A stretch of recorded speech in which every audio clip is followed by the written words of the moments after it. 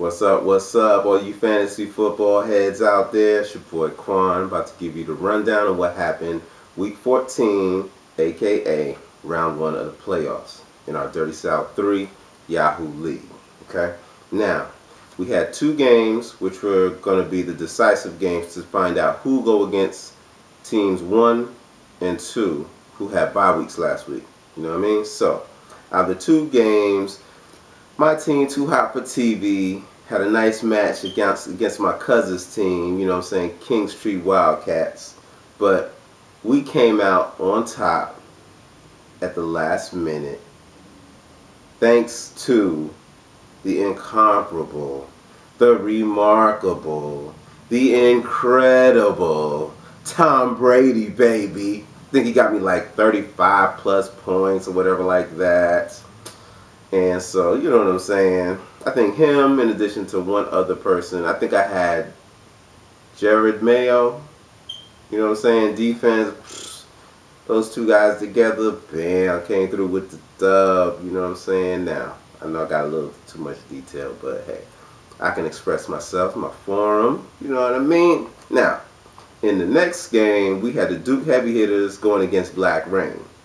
And Duke came out on top. You know what I'm saying? About 15 points, 87 to 72. So, going into week 15, which for us is round two of the playoffs, the winners of these games will go to the championship game to see who comes out as the champion.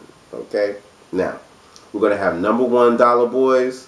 They're going to be going against the Duke Heavy Hitters. Okay? Now, during the season, when they matched off, you know what I'm saying, when they went against each other, Duke won. Okay, so do you think we could see another win for Duke Heavy Hitters to take out the number one Dallaboyz in the playoff? Or will Dallaboyz play in true number one team fashion and come through with the victory? Who knows? We'll see what happens. In our other game, in our semifinals, we've got the number two Rough Riders against the number five Too Hot for TV, which is my team. Now, when we met in the season, Rough Riders got the best of my team. But I got to throw in a little kind of clause there that says that they lost, well, we lost by less than one point. I mean, it was so close. And I just knew that I won. You know, if we didn't have decimals and then two digit decimals at that, it would have been a tie. It would not have been a loss. But anyway, that's the past.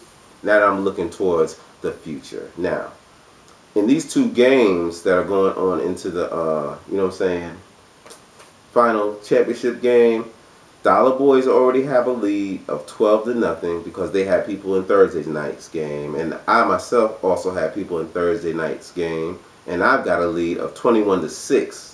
So Rough Riders had somebody too. Okay. Now, I'm hoping to come through with the dub.